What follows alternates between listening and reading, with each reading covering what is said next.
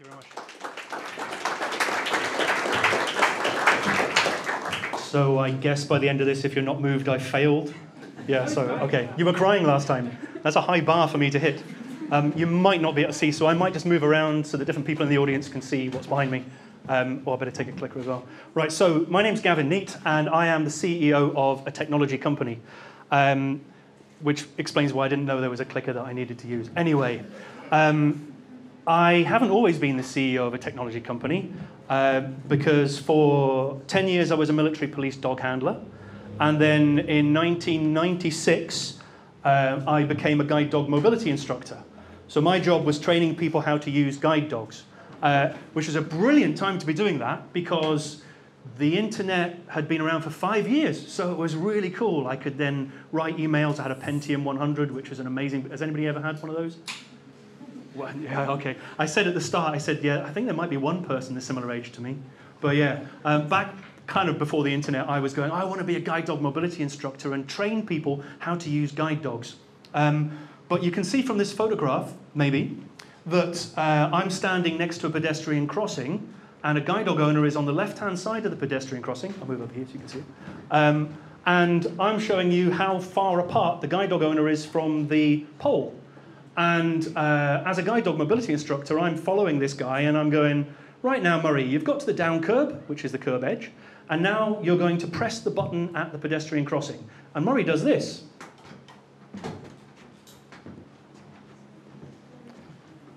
looking for the pole and the button.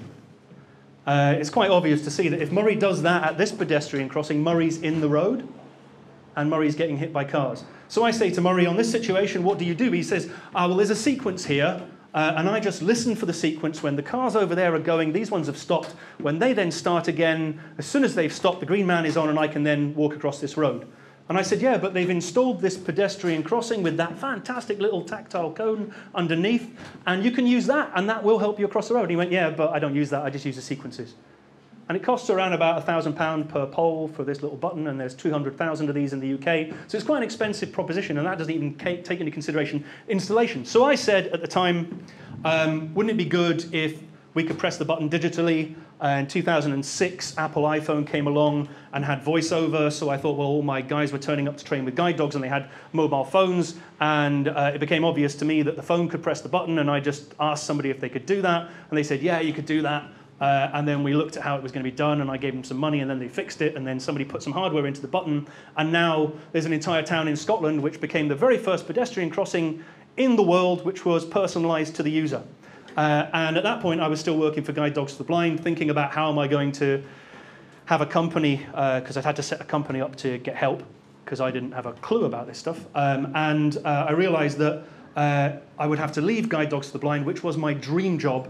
Uh, and I was going to have to leave Guide Dogs for the Blind and actually do stuff in tech, which was not what I wanted to do. However, um, once I'd left Guide Dogs for the Blind, I was able to then look at some of the other problems that I'd had as a guide dog mobility instructor and then I was able to look at how mobile technology could actually help people in those situations as well. When you are a guide dog mobility instructor or a social worker or an occupational therapist or a, um, let me see, a mobility instructor, maybe uh, you are actually doing something that other people don't do, which is follow your client from A to B. Doctors probably, or healthcare workers, they go to A, People sometimes go to B in order to get services, but very few people actually follow them from A to B. And when you follow people, you realize that the world that they live in has not been designed for them. And that's why I came up with Button, which is the pedestrian crossing system. But if you walk into a shop with somebody who's disabled and you step back from them and observe the interaction between them and the person in the shop, you see a very different world and the world that they live in. And Ken here on the screen um, would say to me, I'd walk into a shop, Ken's blind, he doesn't, he's got his cane under his arm there, but um, Ken would walk into a shop, uh, he would just stand there, because what's he going to do, go and try and find somebody? Uh, he would stand there, and five minutes later, when nobody came up to talk to him, he would just walk out again. Uh, and this was happening a lot, in fact, a lot. 75% uh, of disabled people have said that they've had poor customer service and left a shop prematurely, maybe not even buying anything at the time. Now everybody goes, okay, that's yeah, that's that's pretty bad. But these guys are spending 249 billion pounds a year in the United Kingdom alone. 249 billion pounds a year that a lot of shops are missing out on. Uh, so I was thinking, why are they missing out on this? Why, when you walk into a shop, do you get really poor service? And there's a very good reason for it. It's because this is the traditional way of dealing with an incident.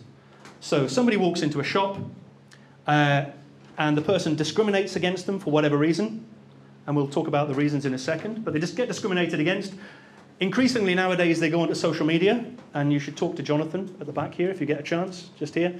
Jonathan's a guide owner, and I'll tell you, he'll tell you all about what he's just done today. But he went on social media and he changed an entire council's policy on how they should deliver services to him, just with him tweeting about it. Now, what happens is they complain, there's an apology. I'm so sorry. Uh, this is really bad because we don't want you PRing us to death on Twitter. Uh, there's then training, staff training, and then there's a period of time and then the whole thing happens again. And the reason for that is because staff don't train, don't stay trained forever, and you can't train them in every single situation they're going to come into contact with. It's impossible to do. Let's just say you're working in Fringe Festival, and you are delivering services in the Fringe Festival, and you're a student. Am I going to train you, if I work for the Fringe Festival, am I going to train you in autism, epilepsy, diabetes, dyslexia, cerebral palsy, mental health awareness, uh, visual impairment, hearing, of course I'm not. I can't train you in all those things. And I certainly can't expect you to recall the training in the moment that you need to deliver a service. It just can't be done. But it's all we've had. And somebody said to me that, uh, well, they, they mentioned that Henry Ford, who you may have heard of, Henry Ford said, if I'd asked them what they'd wanted, they would have said faster horses. So this is Henry Ford Motor Company. He, apparently he didn't say it, which ruins my what I'm saying, but it's apocryphal, apparently. But it's true. Uh, if you'd ask people what they wanted when they've had bad service, they say, oh, more staff training. But it doesn't work for that reason. Well, not that reason, the reason that was on a second ago. So what we did was we put a little bit of hardware uh, into a building. We put a geofence around a building. We had an app running. The person walked towards the building. They hit the geofence. A message went to the customer service team inside the building. The customer service team inside the building got information about the person who was just about to walk through the door, and they got staff training and awareness on the specific needs of the person, dictated by the person who was just about to walk through the door. Somebody who said, I want you to know that I am living with autism, and it's a really good idea if you could maybe do this, this, and this, and this, because that's going to be really useful to me. Now, again, a bit like the pedestrian crossing, which was the first in the world, uh, when I came up with this idea, I didn't realize that, again, I was going to be in the first in the world to actually do this, but I am and was the first in the world to do this, and uh, I suddenly started getting lots of people going, wow, that's really interesting, and my God, you're going to change customer service and how it's delivered, because I'm going to know who's going to walk through the door and how to interact with them. Uh, so we installed with a couple of places. We launched it in November 2017, and we're now installed with in that last year. Scottish Government, Scottish Parliament went live last week. Northlink, Ferries, Doubletree Hilton, House of Fraser, Royal Bank of Scotland, NatWest, Dundee Council, Stirling Council, Forth Valley Sensory Centre, Guide Dogs the Blind, RNIB, Headway Ireland, um, Edinburgh Printmakers, uh, Forth Valley Sensory Centre, Sense, uh, Seascape. Um, oh, God, there's so many. Uh, if you go online, you'll see all these guys. But the one that we got really excited about was when the Minister for Social Affairs came up to us and said, uh, you should really be having that at Edinburgh Airport. Uh, so we installed it at Edinburgh Airport, and it became the first system in the world where the customer service team gets information on how they should interact with a person with any condition at all, completely uh, behind the scenes. In other words, you don't have to go up and say, Hi there, I have this, please. Well, you go into Starbucks, you walk up to the, up to the barista and you say, Hi there, I'd like a flat white and I have schizophrenia. This is not going to work very well. Certainly with the person going, What? Is that put that on the cup? What do you want to do? Um, so we installed it in Edinburgh Airport, uh, where they have 88,000 people who declare uh, that they are disabled, but it will be plenty more. And it's probably worth pointing out that 75% of all disabled people, and there are 1 or 13 million people who would identify as being disabled in the UK, um, 20% of the Britain's population are disabled, uh, and 75% of those people have a hidden disability. So you wouldn't even know. They would have to tell you. So um, I practiced this earlier. I think I've done it. Now, an app which aims to help disabled people get the services and support they need in shops, venues and transport hubs has teamed up with Edinburgh Airport to assist passengers. The technology uses GPS to alert staff that the customer is en route, giving them time to prepare for their visit and make any special arrangements. Kay Nicholson has more. Ken Reid lost his sight 30 years ago. Over the decades, getting around has become easier, but there are still issues. I'm fairly mobile. I walk a lot of places and uh, I can walk the streets that I know quite, quite comfortably. But finding a venue and getting into that venue and then getting the service that I require when I arrive at that venue, that's, that's the challenge. Is I stood there and, and basically had to shout, will somebody come and help me? And it's very degrading when you have to do that. Making that last 50 metre connection between um, your, your, your journey and arriving at your final destination is just is, is closing that loop that makes it, it, it makes the whole difference. That's where the new Welcome app comes in. It allows people to set up a personal profile which alerts a venue when they're en route and outlines what they require when they get there. The big picture here is we're all humans, we're exactly the same. Check the we beard. should all be equal, we should be treated equally, and everybody should be equal by default. So it's equality by default that we're aiming for within the service that we offer. Edinburgh Airport has become the first Scottish airport to register with it. If we can use technology to help us understand the needs of individual groups, and of course disabled I've got most pressing needs, and certainly the ones we need support and want to support as much as we can, then we can just keep offering better service. Oh, the Scottish Government is encouraging other businesses to follow suit. What we need is more and more people to know about this app and to want to use it and then to place demands on the companies and businesses that offer services that they should have it so that individuals can have that accessibility. It's hoped this new link with Edinburgh Airport will encourage other venues to take it on board, empowering hundreds of people like Ken to live as independently as possible. Kay Nicholson, STV News, Edinburgh Airport. So when I worked with Guide Dogs for the Blind, I was surrounded by um, companies that made bits of kit that cost disabled people money that was a tax on them.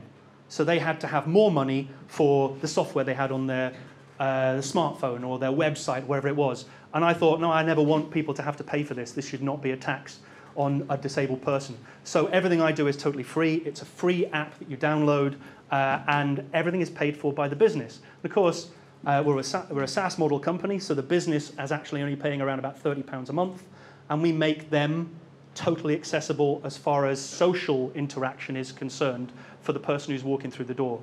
Uh, the other thing that we've done, uh, which I absolutely love, is uh, the fact that within the app, you can request where you want the venue next. So, what we've actually got is an increasing number of people across the United Kingdom who are saying, I want this installed in my local shop. My bank needs to have this. My council needs to have this. My government needs to have this. My post office needs to have this. And we now have um, what they term themselves as Neatebox Ninjas, uh, which are people who are going around the country saying, I demand this. And they dictate how society interacts with them, possibly for the first time in a long, long time, if not forever. So that's what I do. Um, we've got so much going on. We're working at LNER and uh, First Bus to install it on buses, LNER to put it in train stations. We're working with NatWest, Royal Bank of Scotland are looking at spreading it. We're also in Ireland now as well. Uh, and there's no reason why this can't go around the world because it doesn't exist anywhere in the world. Um, so thank you very much indeed. Um, feel free to, lost my clicker. Feel free to um, use our hashtag, which amazingly didn't exist until January, February time. Arrival anxiety, or ending arrival anxiety, or an end to arrival anxiety, because we all suffer anxiety at some point in our lives. The disabled people suffer it a hundred times worse, especially if they've been discriminated against the previous time that they visited somewhere. Thank you.